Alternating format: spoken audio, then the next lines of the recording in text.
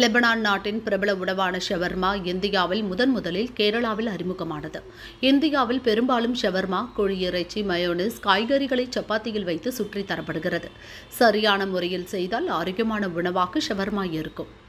ஆனால் வாடிக்கையாளர்களின் நலன் கருதாமல் கெட்டுப்போன பொருட்களை சிலர் விற்பனை செய்கின்றனர். இதனால் தமிழகம் உட்பட பல மாநிலங்களில் மரணங்கள் ஏற்படுகின்றன.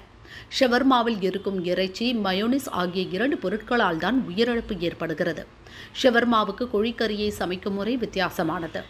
இறைச்சியை ஸ்லைஸாக வெட்டி மொத்தமாக கம்பியில் செருகி கிரில் சிக்கன் போல நெருப்பில் வாட்டுவார்கள். சுற்றியுள்ள மாமிசம் வெந்துவிடும். அதை துருவி எடுத்து ஷவர்மாவுக்கு பயன்படுத்துவார்கள். சில கடைகளில் வியாபாரம் இல்லாதபோது நெருப்பை அணைத்து விடுகிறார்கள். இதனால் இறைச்சியின் மையப்பகுதி அரைவேக்காடு நிலையில் கெட்டுப்போகிறது. கெட்டுப்போன இறைச்சியில் கொடிய ஷிக்கலா என்னும் நோய் கிருமி வளர்கிறது. இதை சாப்பிட்டால் குடலில் தொற்று வேகமாக பரவி இறைப்பை ஏற்படுத்துகிறது. குழந்தைகள் விரும்பி சாப்பிடும் மயோனஸில் பச்சை முட்டையை அப்படியே மிக்சியில் அடித்து கொடுப்பர். இது வெளியே பல மணி நேரம் வைத்திருந்தால் அதில் சல்மோனெல்லா என்னும் கொடிய வகை பாக்டீரியா வளரும். இதுவும் ஷவர்மா மரணங்களுக்கு வழிவகை செய்கின்றன. எனவே ஷவர்மா பிரியர்கள் கவனமாக இருக்க வேண்டும். தரமான உணவு கிடைக்கும் கடைகளில் மட்டும் வாங்கும்படி மருத்துவர்கள் அறிவுறுத்துகின்றனர்.